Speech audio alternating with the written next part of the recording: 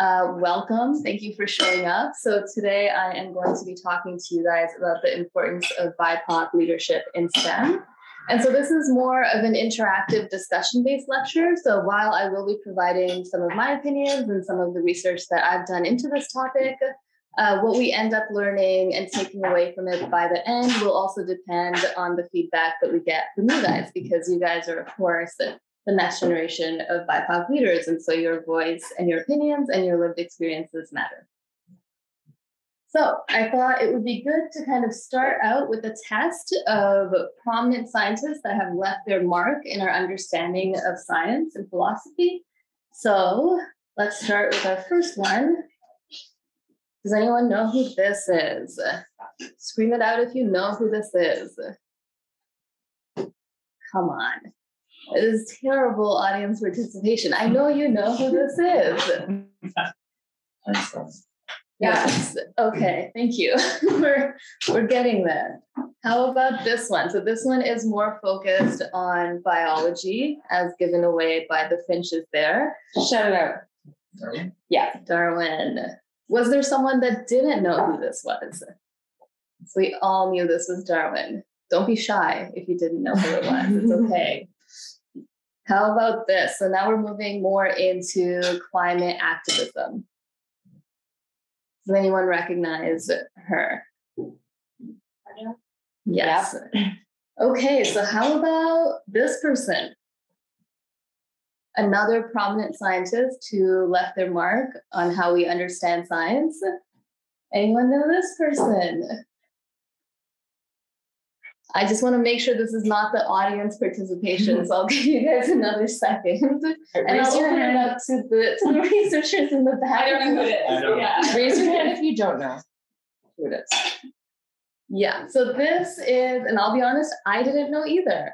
Uh, so this is Charles Henry Turner. So he was a renowned scientist at the time, so around the late 1800s, and he was very influential in his ideas about animal behavior and cognition.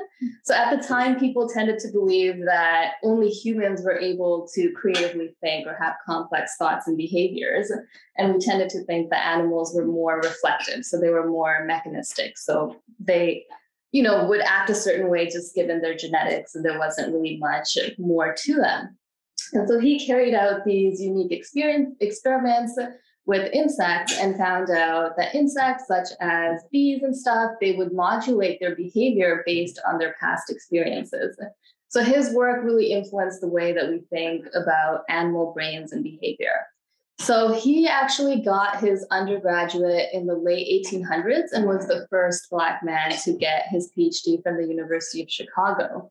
And his undergraduate research thesis, and I can certainly remember mine. So it was, and I remember how terrible mine was, and it really didn't make an impact at all. Uh, his ended up in Science. So has anyone heard of the journal Science? So it's like the best scientific journal there was. And especially at that time, it was very renowned. And so he became the first Black man to publish in science. And then by the time he was finished his PhD, so me and Melanie are at the stage now where we are almost finished our PhDs, he already had 30 publications. So I certainly do not have that. Uh, despite that and all of the marks that he left with his contributions, Due to the racial barriers at the time, he was not able to get a job as a professor or as a researcher. And instead, he kind of did research on the background while teaching at a local high school. Okay. Does anyone remember his name as a refresher before we? Charles Turner. Yeah. Now you know. Okay. And he, like he did a lot of things. He was the first of like so many things as well, right? And still, this is not like a face that we necessarily know. So does anyone know this one? I have faith that at least some of you will know this one. We'll open it up to the youth first, under 18. could be wrong, but didn't she do like something for NASA for the math thing? Yes, Ooh. but do we know her name? Uh, didn't she pass away recently? Yes, I think so. Do we know the name? I'm going to open it up to the back now. Do we know the name? Is it Katherine Johnson? It's Gladys West, and I actually don't know if she passed away. She No, still. I'm thinking She might, yeah. She, I think she's still alive. So she was very influential. So she, and she still is. So she was a mathematician and still is. Uh, and so anyone that uses GPS, the work that she did was instrumental in creating GPS technology. So we all use cell phones, we all rely on cars, we all use social media. So indirectly, we're all indebted to her for her work. And yet we do not know her name. Okay, third example. Who's this one? So this is Helena Gualinga. So similar to Greta, she is also a young climate activist. And her story is really interesting and resilient. So she is part of the Quichua Sarayaku community in Ecuador.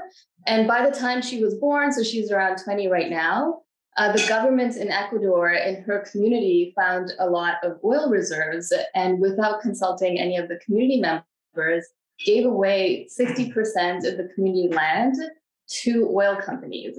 And so they've been battling with oil companies ever since. And because, of course, their livelihood, their culture, and the environment are all being degraded.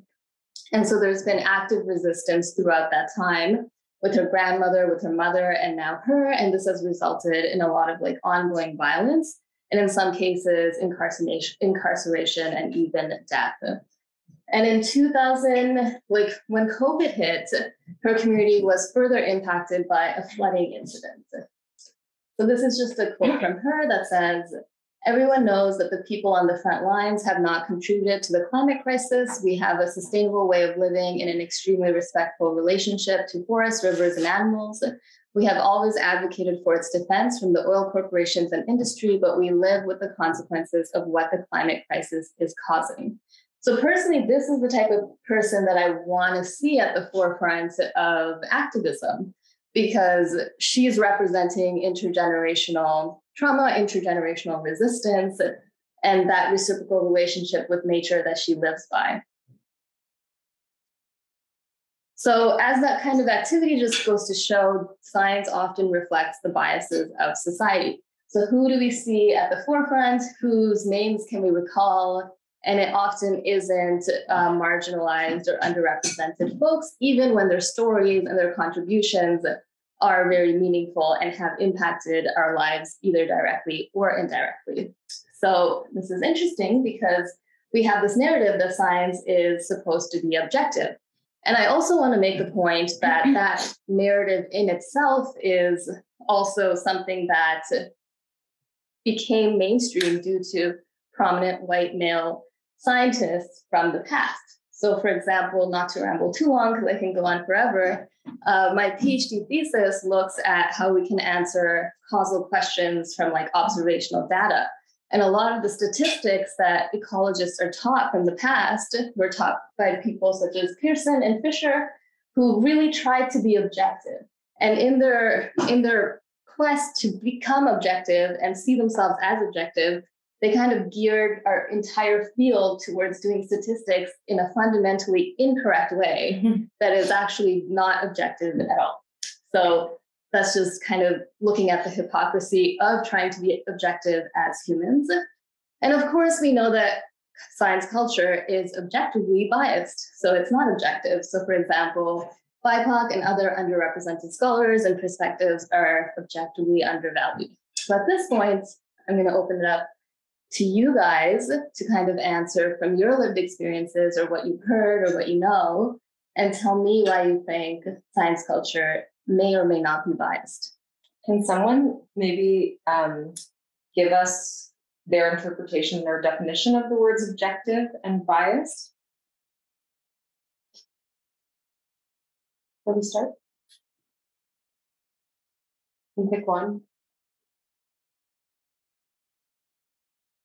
Do you guys think that being a human trying to understand our natural world is necessarily something that should be purely objective?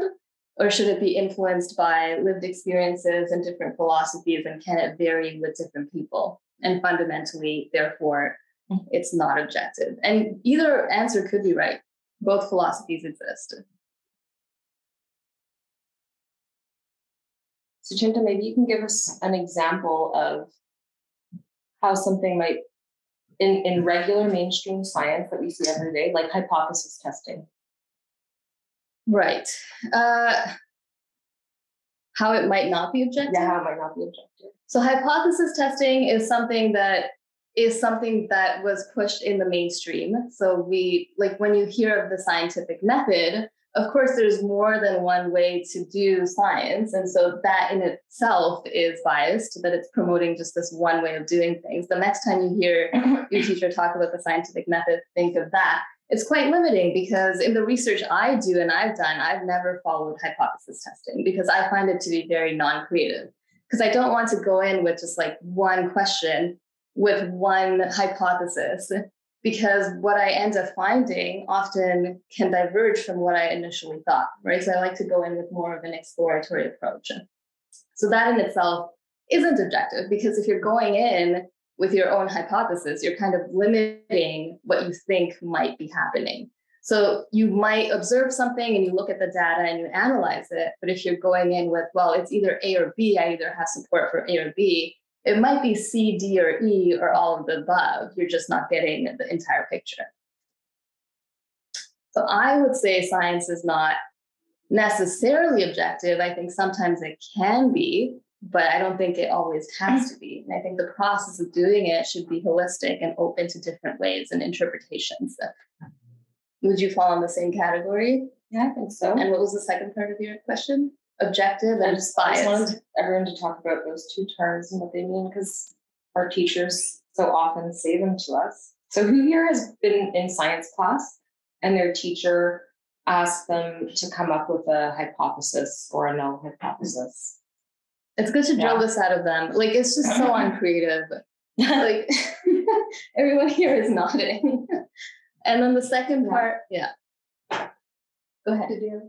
Did you? Were you just stretching? I was, You're just Okay. stretching? I Don't stretch like this. Oh, okay. Oh, go ahead. I'm not answering the question. I was raising my hand. Oh, so- I Yeah. yeah. So you've heard that before Yeah. being taught. Yeah. Next time, feel free to question your teacher and just be like, hmm, the MTRI researchers and the directors of DON told me otherwise. Uh, so the, I'll give a story about how science culture can be biased, and I think it's good to kind of start with personal stories because, of course, I can give you a list of things that we know are biased, but I think it's obviously more personal this way. So I have two stories. I'm going to start with one, and then I'm going to get you guys to share, and then I'll end with the other.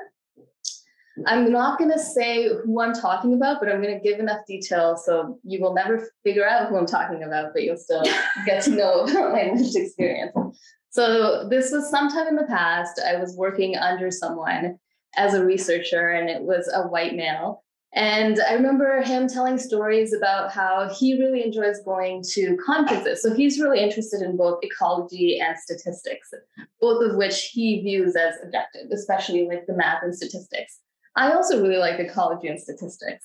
Uh, so one time I remember him telling a story about how he went to a conference with his buddy and everyone was doing this type of math called frequentist statistics. And him and his buddy were in the other camp doing something called Bayesian statistics. And he, him and his buddy were like, look at these mainstream people doing frequentist statistics. Like, I really enjoy doing Bayesian statistics. Aren't they so wrong? And he was talking about how he really enjoyed that intellectual, objective discourse about disagreeing with like the different philosophies and the ways of doing that. So fast forward maybe a few months into it, and I am taking a stats course that he is teaching. And so I go up to his lab, which I'm working in as well, and a lot of the classmates were a little bit confused because math can be a little bit jarring sometimes, especially if you go in thinking like, "Oh, this is this is scary and I can't do it." So it's like, "Hey, blank, uh, some of the kids are a little bit confused, uh, just so you know for next time, or if you want to email them about it." And he was like, Oh, are you confused too? And I was like, No, I think I get it. I spent like all night actually looking into this. And then the class before, he had told me, he had recommended a certain statistical model that I should do given that my question, my ecological question. And I spent I spent all night like reading a textbook and like looking into it. And I came to the conclusion that his model didn't really make sense given like what I had learned. And I was excited about it. So I was like, oh, actually, I think it's this way. This is like what this person was saying. This is what I read in that book. And we had that discourse. And he was like, what do you mean? I don't agree. And so we didn't agree. And then I left and I was like, all right, we don't agree. That's cool. Like I, he still didn't really convince me that his way was right. And I still read my book and I was like, that's fine. Half an hour later, I get an email from him. He's like, Sushantha, come meet me in my office. And I go in and I was like, hey, blank, what's going on? And he uh, told me to close the door. And then he told me, uh, he was like, Suchintha, you are so disrespectful. He gave me like a half an hour speech about how I'm disrespectful. I look at him weird. I need to learn how to how to speak to him appropriately. And then he told me I needed to see a psychologist. He was oh oh also he put in the fact that uh, he started with look I don't want to hold you back on in your career and then and he's my direct supervisor. So he's like trying to that's him being like look I don't want to be the person that holds you back but blank blank blank and blank and I was like what? So I just I kind of just navigated that and I was like okay this is is a little bit beyond me I don't know what you're talking about uh I literally said, I was like, do you just want me to be submissive to you? And he was like, no, no, no, no, that's not what this is. And then we kind of, the, the relationship was always turbulent like that. But I just found it really interesting that he tends to see himself as this like objective person that likes to discuss intellectually about math and how he disagrees with different people and with another like white male buddy at a conference he finds that very intellectually stimulating enough so that he tells stories about it. But then when I disagree mm-hmm. with him while working under him in an intellectual space that I still felt was like discussion based and respectful, I need to go see a psychologist. So that is an example, I would say, of how science is biased and often perpetuated by those in power who think that they are acting objectively, because that's kind of the narrative that's been pushed through them. You look very disturbed, Chad. very disturbing. well, I mean, that's kind of that's that's been a common, yeah. So I'll ha- I have another story to kind of reel that one in. And that's Uh, like a common experience too. So there have been studies that have found that like, you know, established white male researchers, which are the, the most common type of researcher in science, tend to focus working with other established white male researchers. And so what you get is these groups of people that are publishing a lot, doing a lot of science collaboratively, but not including the perspectives of a whole bunch of other people. So there's lots of ways that this has affected science. Like, for example, um, we're recently starting to talk a lot about how there may be differences between um, male and female organisms, but sometimes the female organisms are ignored because scientists focus on the male organisms. And so that's obviously an issue when you're trying to do conservation on a population. Does anyone have any other experiences with- or thoughts that they would want to share? I also have another story I can do if no one wants to share, but I want to open the space up because what you guys say is also part of what we all learn. You can mm-hmm. also say, like, I've never thought about this, and you know, or I don't agree. I think science is objective. That's you're definitely free to say all of that as well. Has anyone had any developments in their community happen? And do you remember if your community was consulted about it? Like where, where you live in Halifax? No? All right, I'm gonna move on. Do you want to share a story of biases you've seen in science before I go back to mine? Oh, there's so many. Yeah, just pick one. Um, yeah, so this is more of a story about some of the problems that exist in science. And when you think about, you know, teachers often tell us that science is not biased. And if you're looking at something that's been peer reviewed, then that means it's like the, the be all end all. It must be true. But there's been a lot of um, things that have happened lately where, for example, there was a scientist at McMaster University who faked a lot of data. He made it up. And people were going through his spreadsheets of his data and they were seeing one row would have a formula that just says, like, this row times two. And then all of that data would be included in the study. So he was kind of making up data. He was making a big name for himself. Um, and a lot of his papers still got through that peer review process. And there's a lot of reasons for things like this um, when they happen. Um, the reviewers were not paid, so it's possible they just couldn't put in as much effort as would be required. But oftentimes, reviewers are people's friends. Like you're small, you know each other, and you ask your friends to be your reviewers, which is not supposed to be allowed, but it happens.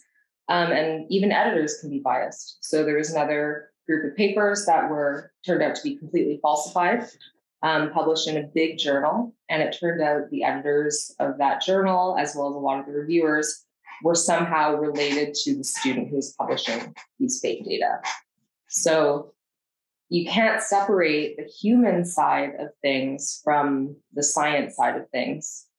So actually, my story does have to do with peer review. And just to break, has anyone heard of peer review before? You guys have heard of that term, like science should be trusted because it's peer reviewed. Do you want to give uh, a definition? Yeah. So the process is you write a scientific paper and then you submit it to a journal of your choice.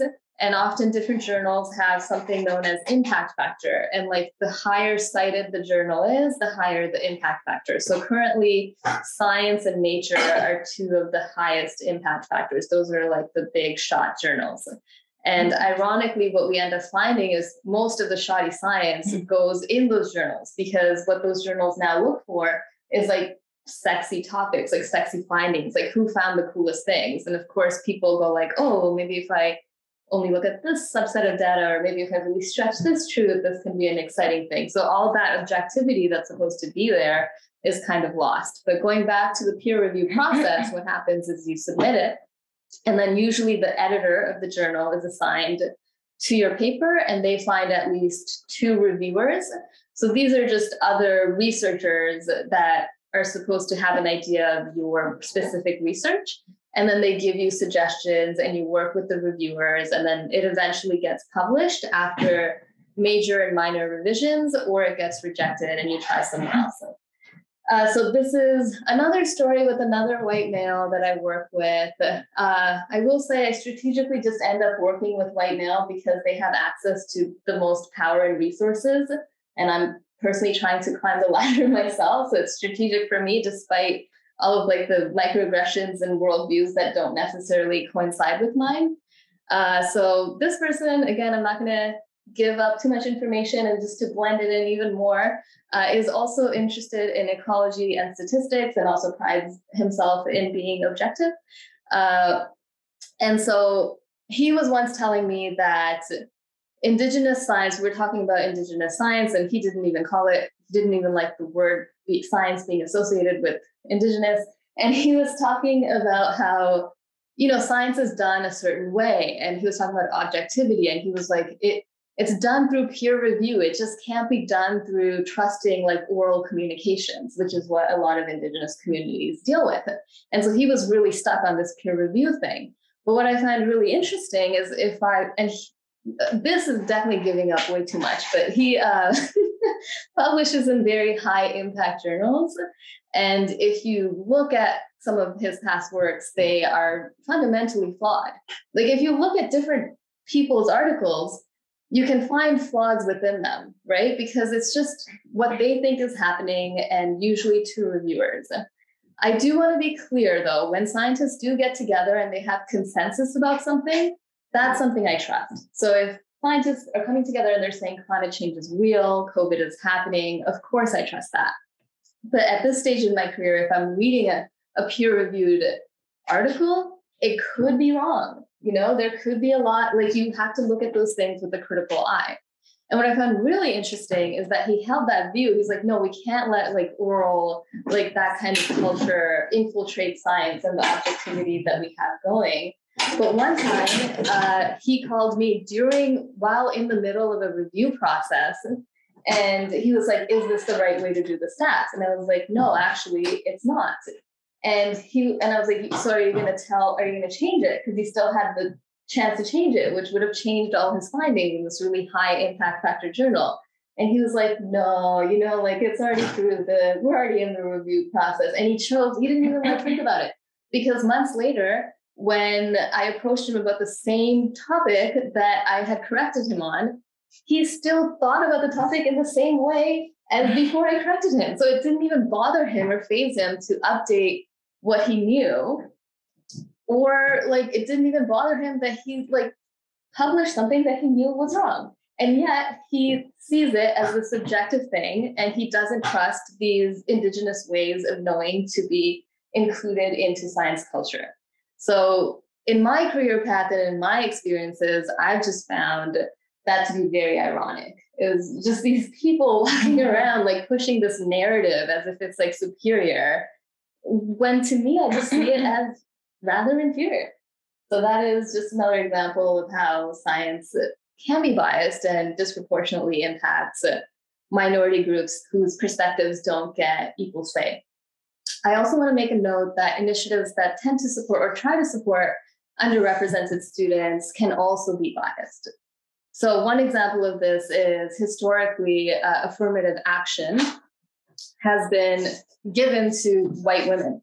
So, like money or like access to affirmative action things tends to go towards white women, although it's usually people of color that get disproportionately stereotyped for that like they think, oh, like you're just here because of affirmative action, when it's really like the white woman next to them that probably ended up benefiting from that.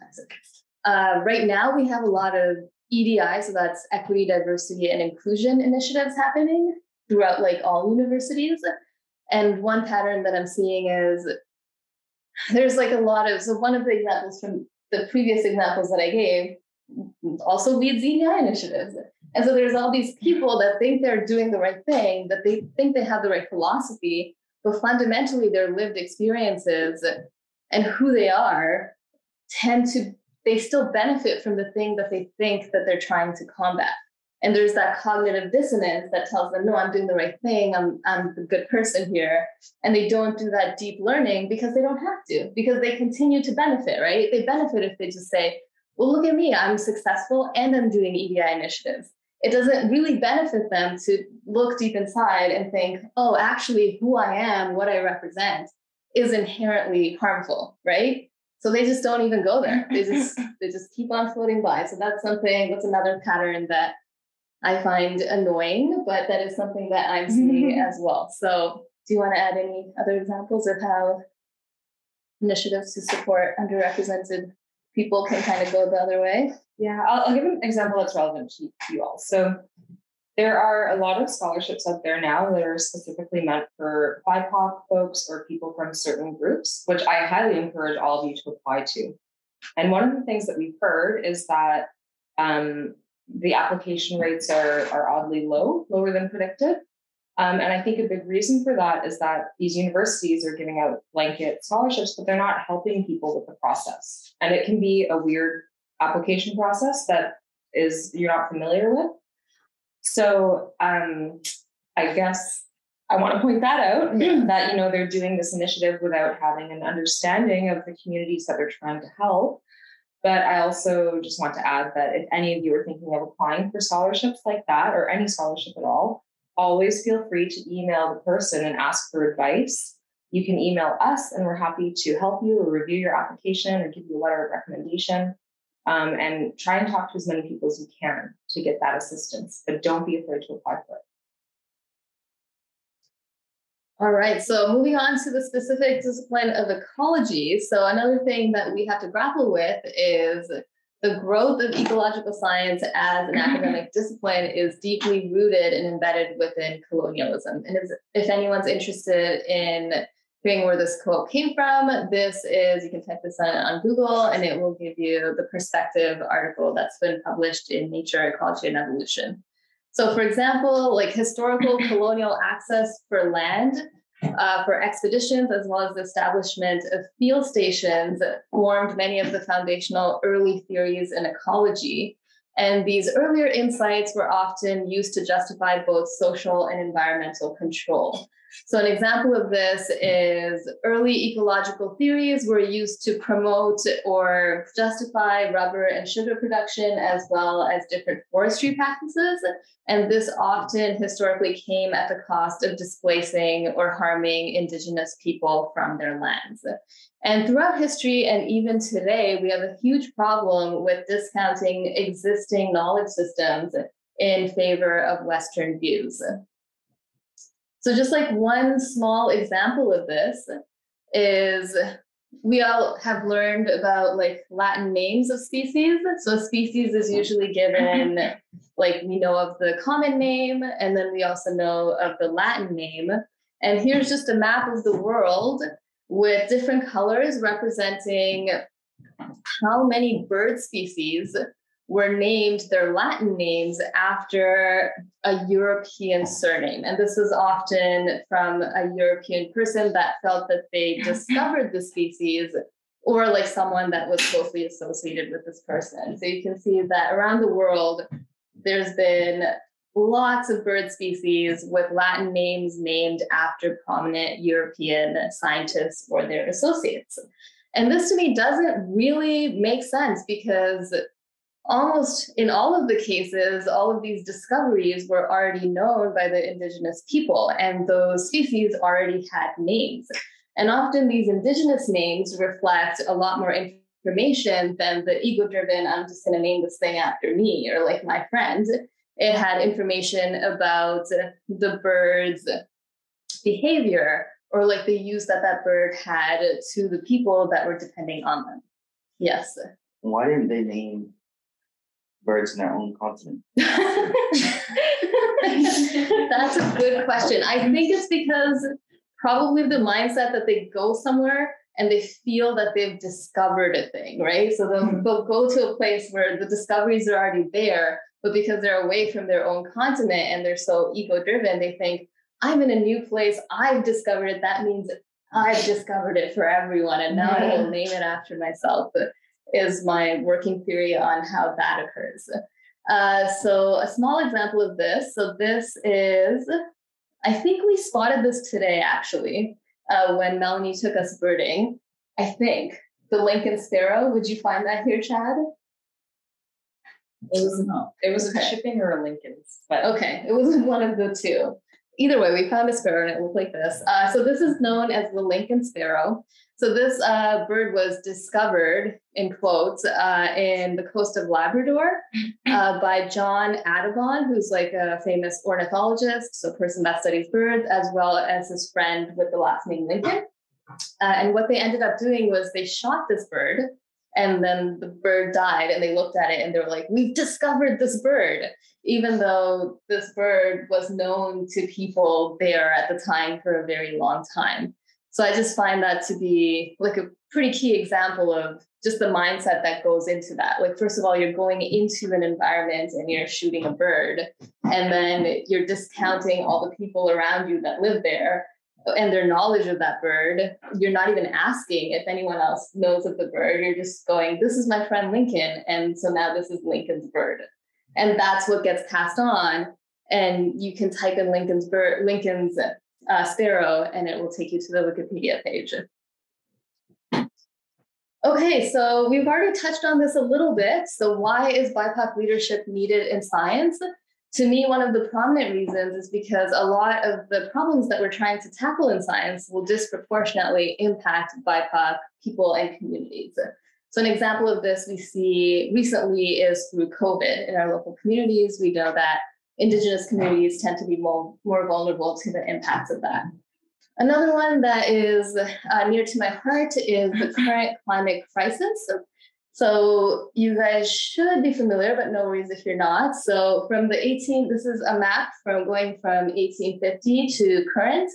And then these are just the CO2 emitted worldwide. And you can see the breakdown from the United States, European Union, as well as the rest of the world.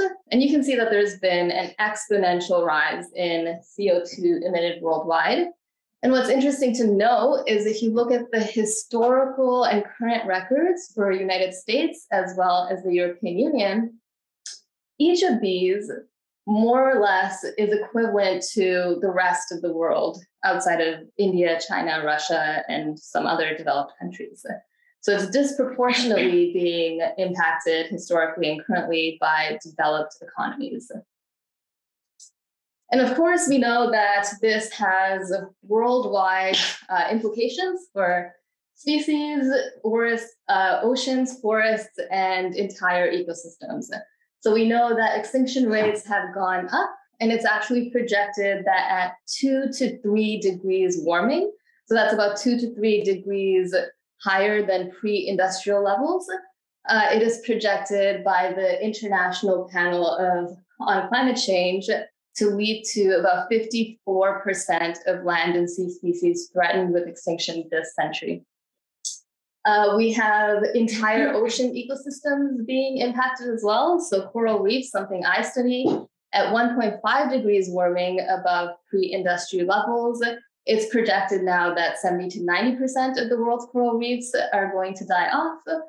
And then in forests, you see examples of this in BC. We have increased fire seasons and increased droughts. And again, this can lead to entire ecosystem collapse. So many terrestrial, freshwater, ocean, and coastal ecosystems are currently near or beyond their ability to adapt. And so we can study ecology separate from humans, which is what we historically did, and say, okay, climate change is bad for ecology and the ecosystems. But of course, now we know that this is inherently tied to us as well, because we rely on these ecosystems for ecosystem services. So, for example, millions of people depend on coral reefs for their livelihood, as well as fisheries, which they use for food as well. And coral reefs also do provide tourism through ecotourism, as well as they provide protection against storms and other things that can happen on land. And this is just an example of how oh, climate change is expected to impact uh, human health as well. So we can see here that rising temperatures as well as more extreme weather can lead to severe weather as well as air pollution, which can eventually lead to a lower quality of life as well as death. And then we can also see things such as changes in disease vector ecology, where we have things such as range expansion. So this can increase uh, our susceptibility to things like malaria as well as Lyme disease. So overall, climate change bad, bad mm-hmm. for the environment, bad for us. But what's also bad is that it disproportionately will impact uh, BIPOC communities and people at a global scale as well as at a local scale. So if you look at the top figure, so that's the globe, and then we have uh, overshoot emissions. So how much each country is essentially how much CO2 they're emitting more than they should be. So we have gray being low, and then we have dark red being high. So we can see that the US is doing very bad on their end, and then Canada is not doing much better than that. But what's interesting is to compare this to the graph on the bottom. So here we're looking at climate change vulnerability. So which countries are likely to be most impacted negatively by climate change? So either through their ecosystems or through human health or both. And so what we can see is that there is an inverse relationship to the countries that disproportionately have contributed to the climate crisis and the countries that are going to be disproportionately impacted. And one pattern that I noted here is that the climate crisis is happening across colonial lines. So the countries that were colonized, the countries that have disproportionately high amounts of BIPOC individuals, and the countries that have disproportionately impacted the climate crisis the least are the ones that will be impacted the most. Is this something you guys knew before? Do you have any thoughts on it? I'm going to demand some participation here at this point. I want to call people out. Ben? Um, I mean, given like that a lot of the areas, especially in the second graph, they're most likely to be affected by climate change were colonized quite early on. Um, is really interesting to see because it seems like most of the uh, very developed countries are the higher producers, and whereas the um, countries that are developing or um, are undeveloped are those that would be affected by it and um, over time, I think hopefully we'll see that the developed countries will sort of come back to even out with their carbon emissions. But um, if they're not affected by it as much, I don't know if we'll see much immediate change. Right. And that immediacy is like seeing, like being seen right now. So, like in August, I don't know if you guys have heard about Pakistan. So, huge flooding, and one third of it went under. And that has been directly attributed to climate change. So, again, Pakistan is a clear example of that, where now they have to, they don't really have the resources to deal with that. I mean, who does with a third of your country going under? But they certainly don't because of their historical context of being colonized and not having that intergenerational wealth build up within the country. And now, on top of this, they have to deal with the climate crisis, which they did not really contribute to. So that's a clear example of that. Uh, Was anyone surprised about Canada's yes. levels there? Does anyone want to think of a reason why Canada's emissions might be so high and overshooting what we can be producing? Is that a hand or a stretch? And Yeah, there's some. You, you go first. uh, I'm trying to think of what I was going to say. Uh, the second graph, like the vulnerability, is that like just by chance, or? No, it's it- calculated. But I'm saying like Oh, I see what you mean. it's like, can you change your vulnerability? No, is it it, that is by where you are chance. the- It's where you are, unfortunately. Geographic. Yeah. Is it also based on like income? It might something also have that, but I don't I don't think so. I don't think it's income related. Yeah. I think it is by chance that the, the countries that ended up being colonized. And I mean there's a reason that they were colonized. They were like generally warmer, they had more to offer, and like countries near the equator, they're going to be experiencing climate change more drastically. So it is kind of by chance, but also it makes sense if you look at the reasons why it became colonized versus the reasons why it would be impacted by climate change. And Ben, did you have a hand? Um, just just looking at that, would the emissions in Canada and I guess most of Russia and the US, would that have to do with um, the oil industry? Yeah. Is- Are, are- are those three the some of the largest producers? Yeah. I mean, per capita, Canada's oil and gas related emissions are extremely high. Um, So I just want to make the point. This is why narratives such as like David Attenborough's, uh, who like posits that it's overpopulation. That's one of the key problems. Is very destructive because then who do you end up blaming? You tend to end up blaming BIPOC individuals and communities. I've literally heard people say very comfortably to me, uh, like white men that think that they're an environmentalist, and they've said to me, if no offense to anyone, uh, if only the Syrians stopped having so many babies, I think we could fix the climate crisis. So that is just the, just a wrong narrative to push, given what is happening and the vulnerability of different populations. And we know that you know scapegoating is a thing that can happen, and so that over you have to be very careful when pushing that like overpopulation narrative. That's really not. I don't think that's something that David Attenborough should be doing. So that's my ranting on David Attenborough. Uh, but I don't just want to focus on the fact that we are disproportionately impacted. Obviously, the positive spin to this is that the perspectives we bring and the empowered perspectives in science and stewardship that we bring can create solutions for conservation and the climate crisis. So, just as an example, uh, this study here, if you guys want to look it up, looked at the impact of, they compared uh, protected areas versus non protected areas versus indigenous uh, led areas in Canada, Brazil, and Australia. And what they found was that, so here, let's start with Canada. Here's Canada here. This is species richness, going from low species richness to high species richness. And then we have indigenous lands here with the mean here, and then the overall distribution here. Uh, protected areas here, as well as non protected areas here. So, what pattern do you guys see when looking at Canada comparing these three types of lands and their relationship with species richness?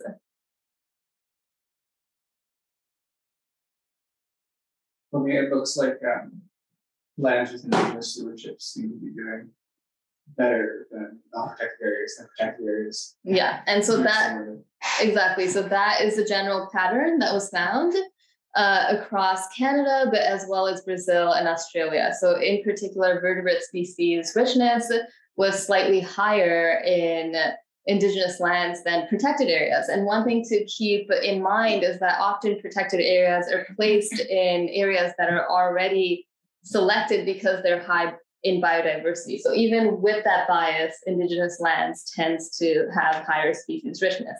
So that means that their knowledge system and how they're interacting with their world and the science that they're doing uh, means something. It's effective. It's way more effective than a lot of Western science has gone through so far. And so, a local example, somewhat a Canadian context of that, uh, is an example with the caribou in BC. So, as we learned from our old growth walk from Chad yesterday, caribou like old growth forest. And what's happening in this population here in BC, known as the Klinse-Za subpopulation, is the old growth forests have been cut down due to forestry as well as like the building of roads and other stuff. And this has led to that late succession forest, as you guys remember from this talk, mm-hmm. switching to an early succession forest. And what ends up happening is you get uh, an increase of deer populations as well as moose populations. And who likes moose, deer, and caribou? It's the predators such as cougars as well as bears. So then you're also getting an increase of these predators, which has then led to the general decline of these caribou populations. And so caribou are really important for many indigenous communities, including the West Moberly First Nations, you see here, as well as the Saulteau First Nations. And so these two are, we can term them the nations as they would like to be referred as according to this paper. Uh, and they've relied on caribou for centuries for food, for sustenance, for livelihood, for cultural reasons as well. And so they've had a close interaction with them and so, what I'm going to present to you guys is an Indigenous led conservation initiative. So, here's a map you can see going from 1995 to today. And you can see this is the caribou population. So, it's going from high to extremely mm-hmm. low. So, by around here, around 2012 is when there were around 30 caribou in that subpopulation. And this is when they started this Indigenous led recovery plan. So this was led by the Indigenous community members, and they took three action steps. So the first was maternal penning and feeding. So this just means that you kind of take mothers and like pregnant caribou and you fence them in to make sure that they're not getting predated and that the calves survive. And then they also did predator control, mostly of wolves. And then they also restored the habitat. And you can see soon after this program started, you're already seeing an increase in caribou. So already by 2020, it went from less than 30 to about 100. So that is already a huge conservation success. And why did this work? Well, because the government and everyone involved worked collaboratively with the Indigenous people who saw an imminent danger and had a vision for how to fix it. And so this collaboration and allowance to let Indigenous people lead actually led to very effective conservation plans. And they didn't just stop there. So around 2020, they also entered a partnership agreement where they are now protecting over 85% of that subpopulation's uh, habitat, whereas before less than 2% were protected.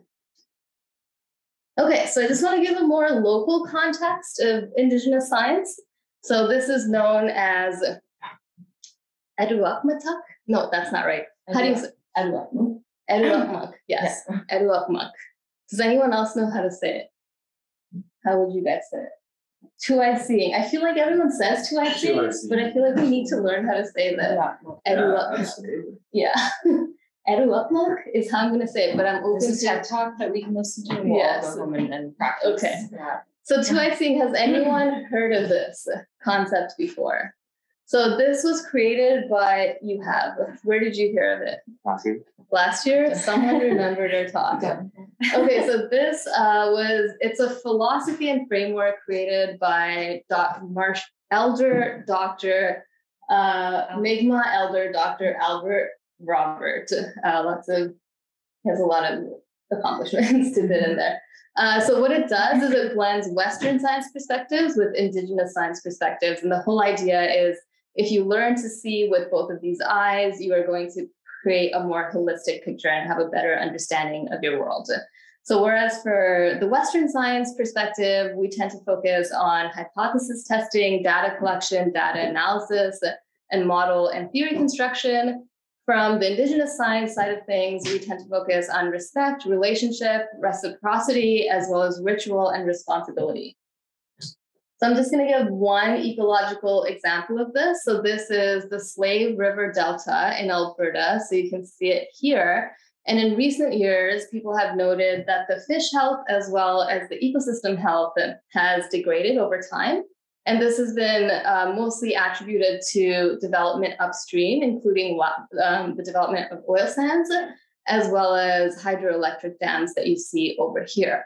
So they uh, implemented two-eyed seeing to try to figure out what is happening with this ecosystem and if it is indeed uh, degrading through time. And so they worked with both Western scientists as well as Indigenous community leaders to try to figure this out. And what's interesting to note is that the two different perspectives had two different ideas of how to, for indicators of ecosystem health.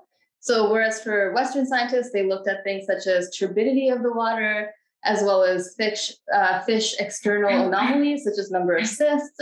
Uh, indigenous science looked more at physical appearance of water. So they knew about the changes in water visibility or movement through time, and they also had more information on assessing fish health and aesthetics because they live more closely with their environment. And so they had more observations. Uh, whereas the Western scientists uh, relied more on data obtained from field observations as well as data that they could gather from different documents that were published. So, again, like peer reviewed stuff. Uh, the indigenous scientists relied more on oral knowledge that was passed on by elders. And what was interesting is based on these different indicators, the Western science indicators indicated that the ecosystem health was doing moderately compared to past levels, whereas the indigenous indicators indicated that it was doing poorly compared to past levels. So, one takeaway from this could be uh, that indigenous indicators might be more able to detect small or increment changes in shorter timeframes.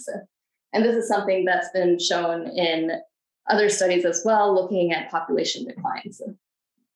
Okay, so Jinder, what's the what's the um want to point out what the serious bias was here with the approach from traditional sort of Western science?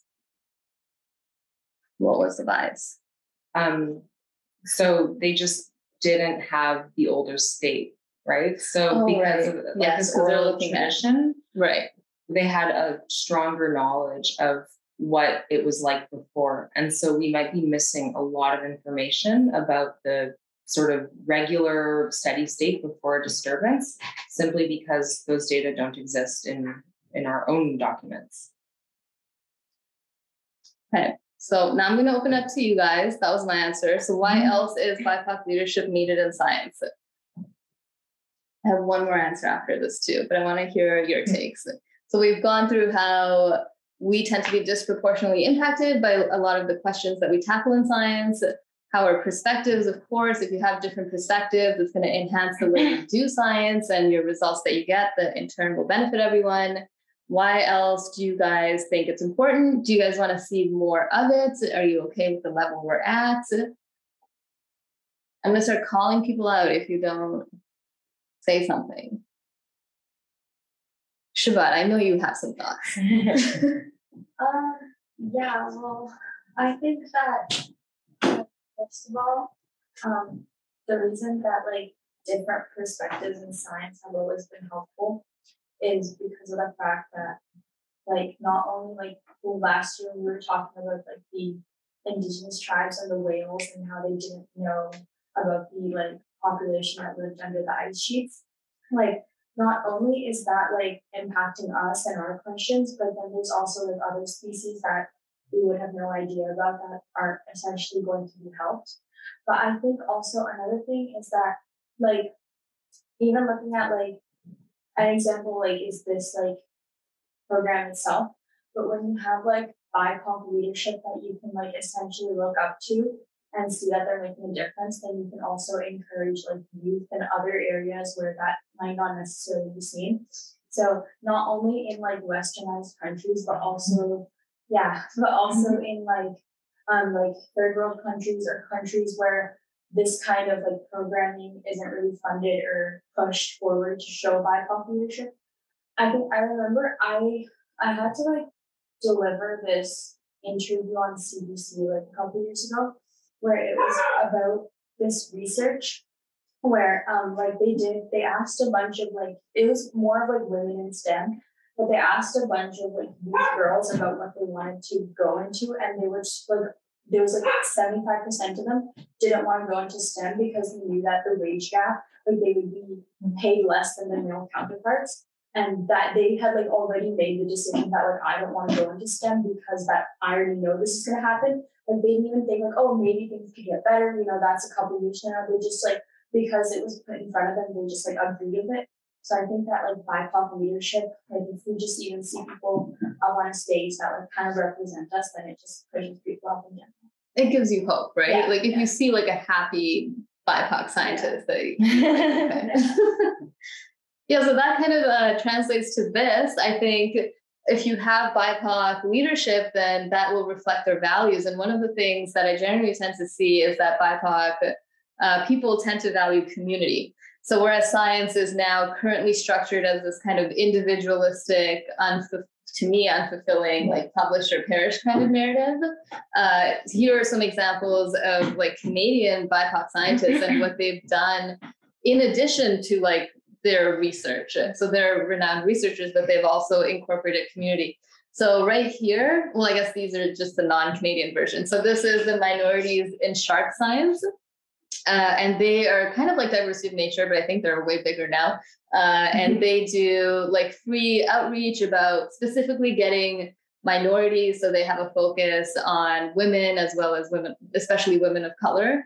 Uh, they provide free programming to get people out in the field, learn about sharks. They have like internships, paid internships, and they have mentorship program that mentors uh, youth as well as undergrads and graduate students and kind of gives them the skills to get into shark science. And so I've been following them on social media. Most of my friends follow them on social media. You can follow them on Twitter. They're very inspirational because they're out there and this is what they're doing. They're like, hey, I'm a shark scientist and this is what I want to spend my time on. I want to spend my time empowering other shark scientists that have that would otherwise not have that. It's really made a big difference to groups like this. So, um, just as an example, I used to work in the turtle world and we're quite connected to the fish world. And both of these uh, fields of research tend to be something we call old boys clubs. So it's a lot of men, a lot of uh, racist people, um, and they come in with biases and they like to prop up the most famous people and you know And they all think they got there from merit.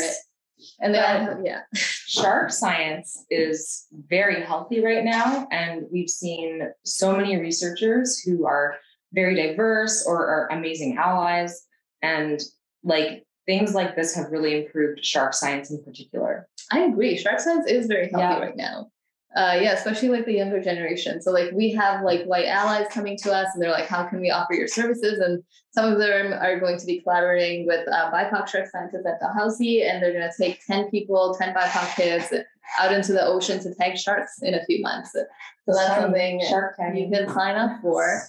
Uh, yeah, so here's just some other examples. So this is a local one. This is Dr. Kevin Hewitt from Dalhousie University. So his research is in physics, uh, but he also founded uh, Imhotep Legacy Academy, if anyone has heard of that. Uh, so it's a um, a program, like an outreach program within Dalhousie that does uh, science outreach to Black youth across Nova Scotia. And then this is Andrea Reid, an Indigenous scholar that recently got hired at the University of British Columbia. And so she really focuses a lot on two-eyed seeing, and she is now in a position where she can hire Indigenous undergraduate and graduate students and kind of train them in this thing and work with them as well.